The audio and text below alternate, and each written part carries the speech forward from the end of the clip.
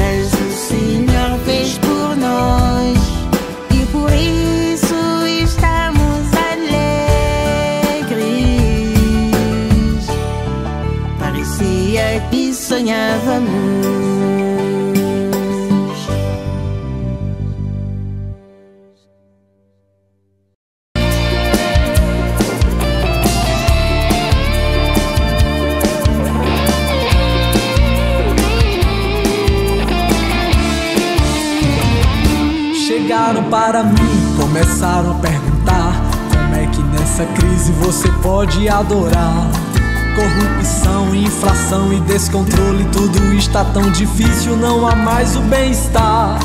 Tem gente que pensa que Deus não está vendo tudo isso acontecendo e muita gente a murmurar. Mas minha resposta à pessoa foi assim: eu falei o que eu aprendi começaram a escutar. Eu aprendi que Filipenses 4 e 11 Na bonança ou na fome eu devo me contentar com Jesus o pouco é muito e também as aflições, dificuldades, nosso Deus conosco está. Coisa de crente é loucura de verdade, até pensam que essa crise poderá nos afetar. Eita Deus, coisa de crente é loucura de verdade. Bom dia, povo de Deus, a paz do Senhor, Deus abençoe a sua vida. Deus abençoe a sua família, a sua casa. Deus lhe dê alegria de viver, renove as promessas em sua vida. Bom dia, minha pretinha, bom dia. Bom dia, meu pastor, bom dia, meu amor, bom dia, família Pão da Vida. Bom dia, nossas ovelhinhas linda e amada. É, um abraço Nossa, cheio hoje... do Espírito Santo. Deixa eu dar um abraço a essa ovelhinha aqui, ó. pastor. Bem apertadinho, cheio do Espírito Santo. Eu também quero, olha. Amém. Nós estamos com as ovelhinhas aqui lindas de Jesus, né? Nós Amém. A Glória a Deus, né? E a nossa ovelhinha linda, Michele. A Michele está aqui, Michele, mas a irmã é. É, sim. É. Bom dia, bom dia, bom dia, povo de Deus. Maria, tô com saudade daquele sorriso. E o Descis, eita. Chiquinha, nossa levita oficial, Graceline. Bom dia a todos, viu, pastor? Amados, nós vamos falar hoje sobre algo muito importante. Vamos falar hoje sobre os que são escolhidos de Deus permanecem para sempre. Para sempre. Você está vendo, o mundo inteiro está vendo a guerra entre Israel o Hamas, uma guerra cruel. Para Israel é mais uma guerra. O povo de Deus sempre viveu em guerra. Israel é o povo amado, é a nação Aleluia. santa. O povo é escolhido de Deus, escolhido para Ele mesmo. Deus disse: Escolhi para mim. Deus, Deus, na verdade, não precisava escolher um povo, não, mas Ele decidiu escolher Israel para mostrar o seu amor e também o seu poder. Deus prometeu a Abraão que o seu povo seria numeroso, abençoado e que através dele todos os povos do mundo também seriam abençoados. Aleluia. Isso porque Deus decidiu que o seu filho Jesus Cristo nasceria do povo de Israel. E nós podemos ver no Novo Testamento, através do ministério do apóstolo Paulo, que Deus também ama e se revelou aos gentios. E nós passamos a ser também o Israel de Deus. Isso significa que todos aqueles que acreditam em Jesus Cristo são salvos. E tudo isso aconteceu através da nação de Israel. Veja aqui o que está escrito em Gênesis 32, 28. Então disse o homem: Seu nome não será mais Jacó, mas sim Israel, porque você lutou com Deus e com os homens e venceu. Aqui Jacó estava no val de Jaboque e lutou com o anjo, e o anjo disse essas palavras para ele. Mas essa expressão, lutou com Deus e venceu, não, é porque Deus é Pai. Para Deus, Jacó estava lutando apenas como uma criança que brinca com seu pai e seu pai deixa ela vencer só para ela ficar orgulhosa. Aleluia. Mas na verdade, meus amados, queridos irmãos, ao longo da história da humanidade, a nação de Israel passou por muitas transformações. Foram muitas lutas.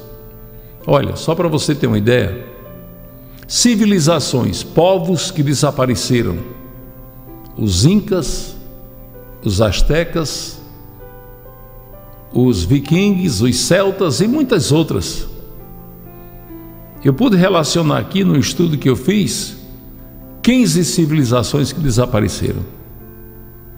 Israel tinha tudo para desaparecer. Porque nenhuma dessas civilizações enfrentou o que Israel já enfrentou. Os cativeiros assírio, babilônico, o holocausto judeu da guerra, Aleluia. Segunda Guerra Mundial. Povo perseguido, agora mesmo nós vimos o povo de Israel sendo caçado no mundo inteiro. O povo de Israel sempre foi perseguido, agora também sempre foi escolhido. É um povo que sempre foi escolhido de Deus. Aleluia. E essa mensagem, antes da oração da manhã de hoje, é dizer para você que nos acompanha: você pode estar sendo perseguido, mas você é escolhido de Deus. Israel, só na Segunda Guerra Mundial, foram mortos 6 milhões de judeus. É muita gente, né? E olhe que morreram 6 milhões e eles não contabilizaram os que morreram pós-guerra de doenças. Ficou milhares muito fracos, doentes, cheios de tudo que era peste,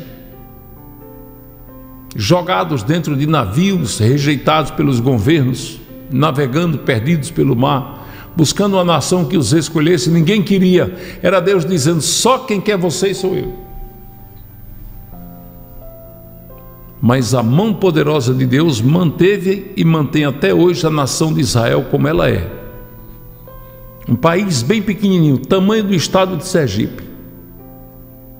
Miudinho, enfrentando aquelas nações vizinhas, enfrentando uma guerra cruel, cercado de inimigos, inimigos ferozes que desejam varrer Israel do mapa. Mas Israel como em 1967, na Guerra dos Seis Dias, que venceu todas aquelas nações, seis nações em seis dias. Hoje, se tiver uma batalha, se levantar os países vizinhos contra Israel, ele vence todos eles. Aleluia. Como ele já venceu.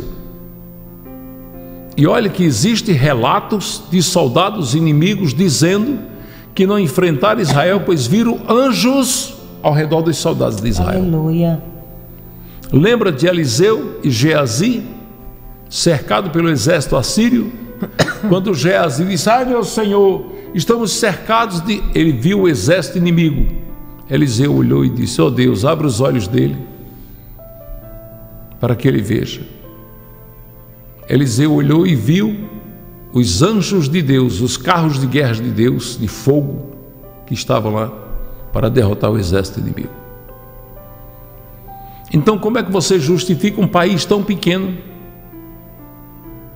Um país perseguido por muitas nações, arrodeado de inimigos, sobreviver a tudo isso e ainda ser o país rico que é, travar a guerra que está travando agora, atacando três países ao mesmo tempo.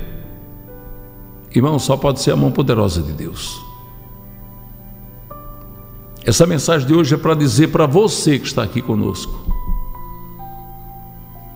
que o teu Deus, o nosso Aleluia. Deus, o Deus da pastora Jossa Neto, Deus de Israel, Glória não permitirá que você seja derrotado. Você veio aqui hoje para ouvir essa mensagem. Glória a Deus. Deus não permitirá que você seja derrotado.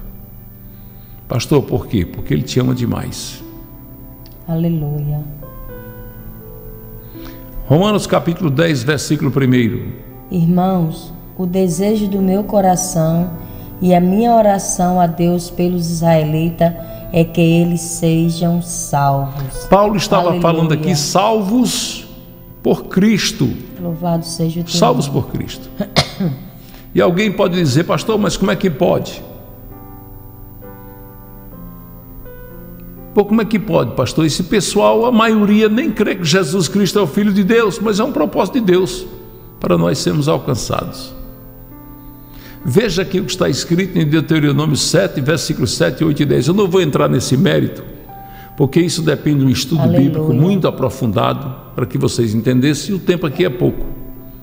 Mas ainda vou dar um estudo em você, mas para vocês aprenderem sobre isso, mas você pode ir em Romanos 11 que você vai Aleluia. entender que o que Israel faz hoje é um propósito de Deus para nós gentios sermos salvos. O Senhor não se afeiçoou a vocês, nem os escolheu por serem mais numerosos do que os outros povos, pois vocês eram o menor de todos os povos, mas foi porque o Senhor os amou e por causa do juramento que fez aos seus antepassados. Aleluia. Por isso ele os tirou com a mão poderosa e os redimiu da terra da escravidão, do poder do Faraó, rei do Egito. Saibam, portanto, que o Senhor, o seu Deus, é Deus. Ele é o Deus fiel que mantém a aliança e a bondade por mil gerações daqueles que o amam e obedecem aos seus mandamentos. A fidelidade Aleluia. de Deus com o povo de Israel. Louvado seja o nome do Senhor. Olha o que fala aqui números 23, 23. Não há magia que possa contra Jacó, nem encantamento contra Israel. Agora se dirá de Jacó e de Israel: Vejam o que Deus tem feito. Aleluia. Oh, Jesus Glória a Deus. Esse povo, irmãos, todo, todos os povos do mundo inteiro, até os Estados Unidos, que é a maior potência bélica da atualidade, sabe o que é que eles dizem? Eles dizem: Israel tem o exército mais poderoso Glória da terra. É isso que eles dizem. Por quê, pastor? Porque eles sabem que é verdade. Porque eles sabem que Deus é com esse povo. Aleluia. É. Veja aqui o que Deus falou em Deuteronômio capítulo 6, versículos de 4 a 9. Ouça, ó Israel, o Senhor, o nosso Deus, é o único Senhor. Aleluia. Ame o Senhor, o seu Deus, de todo o seu coração, de toda a sua alma, de todas as suas forças. Que todas estas palavras que hoje lhe ordeno estejam em seu coração. Aleluia. Ensina-as com persistência a seus filhos. Converse sobre elas quando estiver sentado em casa, quando estiver andando pelo caminho, quando se deitar e quando se levantar. Amarre-os com um sinal nos braços e prendas na testa. Escrevas nos batentes das portas de sua casa e em seus portões. Aqui a palavra estava falando dos filactérios, pequenas bolsas de couro que eles botavam a palavra de Deus, botavam na testa e no peito. Até hoje os tradicionais fazem isso. O povo de Israel é um povo diferenciado. Israel não ensina seus filhos a admirar Super-Homem, Homem-Aranha, The Flash. Não, eles não ensinam isso. Eles ensinam a admirar Moisés, Josué, Abraão, Rei Davi. Os heróis dos jovens de Israel são esses heróis. É um povo que vive a palavra de Deus e não a maioria não tem Jesus como seu salvador, exatamente porque é um propósito de Deus. Veja o que Josué falou no capítulo 21, no versículo 45 do seu livro. De todas as suas boas promessas do Senhor, a nação de Israel, nenhuma delas falhou, todas se cumprirão. Deus cumpriu todas as promessas que fez a Israel. Aleluia, todas se Promessas de proteção, promessas de guardar, promessas de fazer Israel uma nação vencedora, promessas de deixar a Israel o legado de ser a única nação que, apesar de tão pequena, ter sobrevivido a todos os sofrimentos Aleluia. que houve. Veja aqui o que diz o Salmo 78, versículos de 4 a 5. Presta atenção. Não os escondemos dos nossos filhos, contaremos à próxima geração os louvores, os louváveis feitos do Senhor e o seu poder e as suas maravilhas que fez. Ele decretou estatutos para Jacó e Israel estabeleceu a lei e ordenou aos seus antepassados que ensinasse aos seus filhos, de modo que a geração seguinte a conhecesse e também os filhos que ainda nasceriam, e eles, por sua vez, contasse aos seus próprios filhos. Então eles porão a confiança em Deus, não esquecerão os seus feitos e obedecerão aos seus mandamentos. Você está vendo que Aleluia. a palavra de Deus estava ensinando ao povo de Israel, passar de geração em geração, os feitos de Deus, o que Deus representa para esse povo. Aleluia. Quando você vê os Estados Unidos se levantar para defender Israel, mandar porta-aviões para lá, navios, fragatas, aviões de guerra, jatos tremendos mas por que os Estados Unidos estão defendendo Israel? Israel, por acaso, tem muita coisa a dar aos Estados Unidos? Não, não tem. Israel em relação aos Estados Unidos não é quase nada.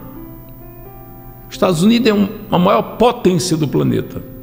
Mas por quê, pastor? Porque Deus toca o coração daquela nação para guardar, para proteger Israel. Como você pode ver, Deus chamando Ciro, o rei Medo-Persa, que nem conhecia a Deus. Deus disse: Você é meu ungido. Eu tenho ungido para libertar meu povo dos caldeus. E ele foi lá e libertou mesmo. Porque quando Deus manda, todos obedecem. Aleluia. Então, o que os Estados Unidos faz para proteger Israel? Travando uma guerra contra praticamente o mundo todo, é exatamente porque há um chamado de Deus para que esta nação, que é a mais poderosa da terra, proteja Israel. É um chamado, irmão. Há uma aliança de Deus com Israel que Deus não desprezará Israel. Deus vai sempre estar com Israel. Aleluia. Veja aqui o que está escrito em Jeremias 31, versículos 33 e 34. Esta é a aliança que farei com a comunidade de Israel depois daqueles dias, declara o Senhor. Porei a minha lei no íntimo deles e escreverei nos seus corações. Serei o Deus deles e eles serão o meu povo. Ninguém mais ensinará ao seu próximo, nem ao seu irmão, dizendo: Conhece o Senhor, porque todos eles já me conhecerão. Desde o menor até o maior, diz o Senhor, porque eu lhes perdoarei a maldade e não me lembrarei mais dos seus pecados. O amor de Aleluia. Deus, a fidelidade de Deus é com Israel. Glória a Deus. Nós estamos chocados, estamos tristes, inocentes estão a morrer dos dois lados. Israel sofreu um grande golpe com a invasão do Hamas. A gente sabe, tem visto, não precisa nem comentar. Ninguém quer essa guerra, nós não queremos. Nem o próprio Israel queria, só quem queria era o Hamas.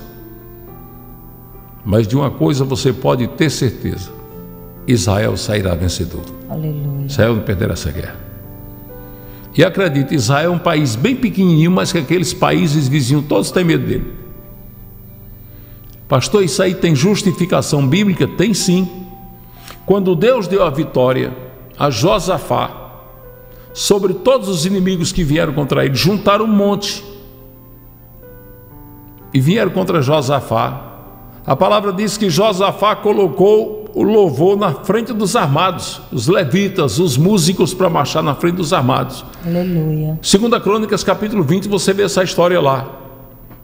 E os inimigos se confundiram, se destruíram, e Josafá passou quatro dias recolhendo os despojos, que era aquilo que os inimigos deixaram, armas, cavalos, carros de guerra, alimentação, ouro, prata, e que a palavra é clara, a palavra diz: Deus colocou terror no coração dos inimigos de Josafá. E a palavra diz que os inimigos de Israel passaram a abençoar Josafá para que ele não os atacasse. Aleluia. Ou seja, Deus dá a vitória para mostrar que ele é com o seu povo. Ei, meu irmão, minha irmã, Deus vai te dar a vitória para mostrar que ele é contigo. Recebe essa palavra, vamos orar. Aleluia. E a nossa oração vai ser uma oração de gratidão a Deus. Gratidão pela fidelidade dele. Deus, Deus Santo, Deus amado, Deus querido. Senhor, nós oramos e agradecemos. Porque a tua mão poderosa tem estado estendida sobre o teu povo. Pai, a tua fidelidade. Oh Deus, a tua fidelidade. Como é linda a tua fidelidade, como é grande a tua fidelidade. Obrigado, Senhor somos gratos. Porque mesmo em meio às nossas falhas, à nossa pequenez, o Senhor tem sido fiel e a tua palavra diz que o Senhor não pode negar a si mesmo. Sim, Obrigado, Deus, por nos guardar, por nos proteger. Obrigado, Deus, por livrar a cada um de nós de todo perigo. Pai, nós agradecemos em nome de Jesus. E queremos pedir, Deus, que o Senhor tenha misericórdia dos que estão envolvidos nesta guerra eu sei, Deus, que Israel tem o teu apoio, tem, Senhor, a tua direção, tem a proteção dos teus anjos, mas nós também sentimos dó das crianças palestinas que estão ali sofrendo na faixa de Gaza e pedimos o fim desta guerra ao Senhor porque o Senhor tem um poder para parar esta guerra. A Deus, tem misericórdia, meu Pai. Queremos pedir também pelos doentes, pelos enfermos, que sejam todos, Senhor, cheios da tua presença, meu Pai. Abençoa, Deus, o pai de família, a mãe de família, abre as portas de emprego. Abençoa teus filhos e filhas que são comerciantes, empresários. Enche-os da tua santa e maravilhosa presença, Deus. Abençoando, meu Pai, poderosamente no nome de Jesus Cristo. É o que pedimos, Deus, porque tu és Deus Santo. Abençoa, Senhor, nossos dizimistas, nossos ofertantes, teus filhos e filhas, Sim. que mantêm a tua obra avançando. Nós pedimos, Pai, guarda-os e livra-os de todo perigo, de toda maldade, de toda enfermidade. Abençoa com o milagre da multiplicação, abençoa os que têm votos e propósitos com esta obra. Abençoa a todos que amam esta obra por reconhecer que é uma obra do teu coração. Abençoa, Deus, poderosamente. No nome santo do Senhor Jesus Cristo. Abençoa hoje e sempre. As nossas moderadoras, moderadores, abençoa a todos. Em nome de Jesus. Amém. Amém, povo santo. Aleluia. Amém, povo de Deus. Deus abençoe. Beijo no coração, nosso, coraçãozinho coração. cheio de amor por Jesus e por vocês. Um abraço cheio do Espírito Fica Santo. Na paz do Senhor Jesus. Inscreva-se aqui no canal, dê o seu like e compartilhe Daqui a pouco tem o pastor Gabriel Batro, Bom Dia Jesus, e depois eu e a pastora Ângela no culto, culto do lar. Do lar. Amém? Amém. Encontro marcado. Que Beijo.